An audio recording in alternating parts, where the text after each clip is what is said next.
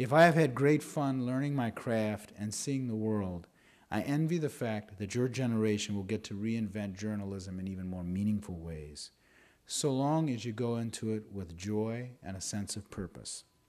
Just think of it for a second. Cultural criticism, for instance, will change radically. It used to be the critic's craft revolved around describing ballets and concerts that you would never actually hear or see.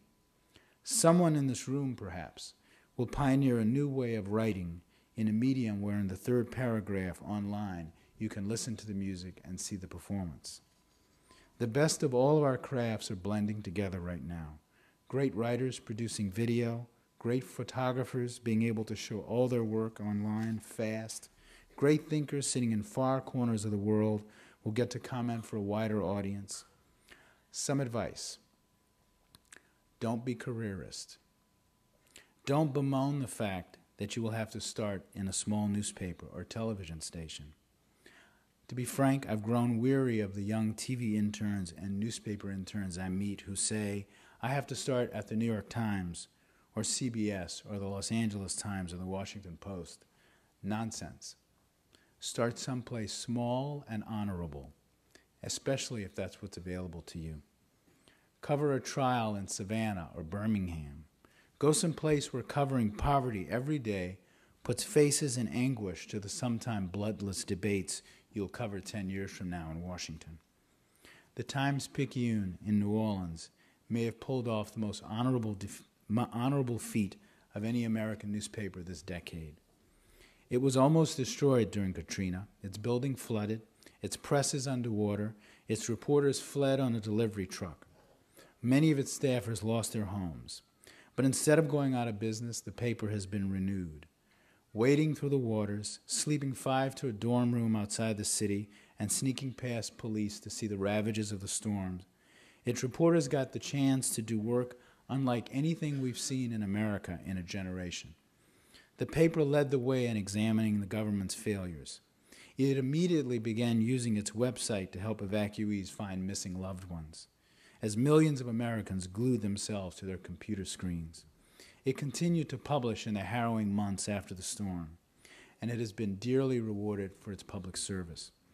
At one point, one of its editors brought copies of the paper to the Superdome in the days after Katrina, that awful period when we all watched in horror on television.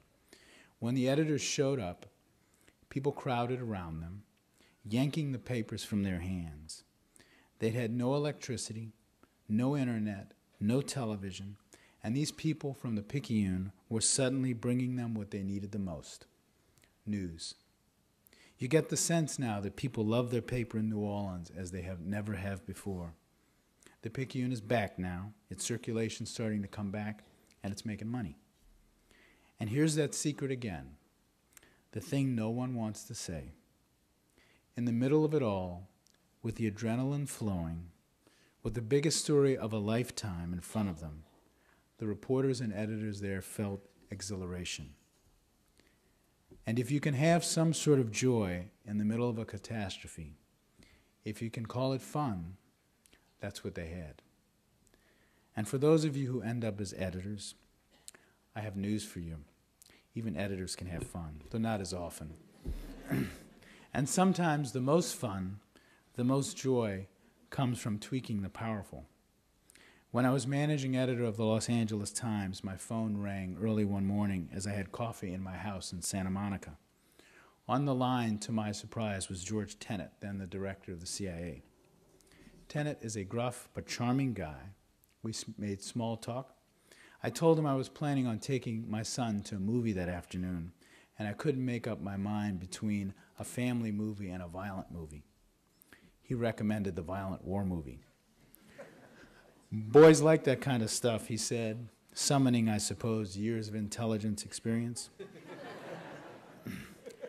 then he got to the point. The LA Times was about to publish a fairly explosive story about how the CIA was spying on the Iranian community in Los Angeles as a way to learn more about Iran, where it had precious few spies. This story, Tenet told me, would endanger lives. It would hurt an ongoing intelligence operation. Then he added, darkly, it would hurt the war on terrorism. I told him he'd have to be more specific, that our job is to publish stories, not to kill them. He told me he couldn't tell me more, just that it would hurt the war on terrorism.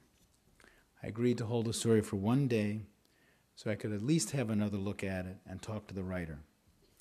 Then I took my son to see the family movie. The next day, I called Tenet at his home and told him I'd heard, I had not heard enough of a reason to hold the story. We were publishing it on the next day on the front page, which we did. The day of publication, I waited for the world to cave in, for the government to denounce us, at least for Bill O'Reilly to call us unpatriotic. Nothing happened, not a thing. To put it mildly, the head of the CIA had exaggerated. Here is how editors have fun. Take this down.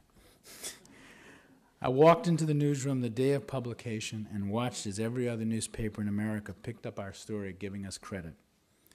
Actually, I strutted through the newsroom that day, taking calls here and there from editors at competing newspapers, because editors have fun vicariously. So I've let you in on a secret. You are going to have a blast. You're going to have a shot at changing the world in small ways Get your head out of the constant stories that sound the death knell of the profession. Read Romenesko with one eye cocked. We've been here before. We've gone from being sensationalist to straight. Radio has remade itself in response to television. Television has remade itself too many times to count. And newspapers have remade themselves in response to both. Don't get so caught up in your climb to success and in your desire to cover the powerful that you miss the great adventure you're on, that you fail to learn from the lessons you pick up along the way. If you take your mind off your career and just enjoy the work and the craft, I can promise you, I can absolutely commit to you, you will have a great time. I'd like to thank the college for inviting me here. You did something for me today. You honored me, and I'm grateful for that. You probably don't know how grateful, given that I actually never graduated from college.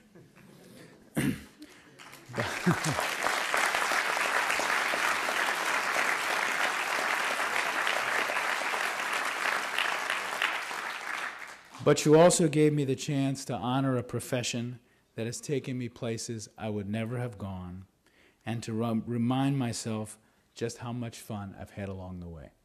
Thank you. Sincerely. Thank you.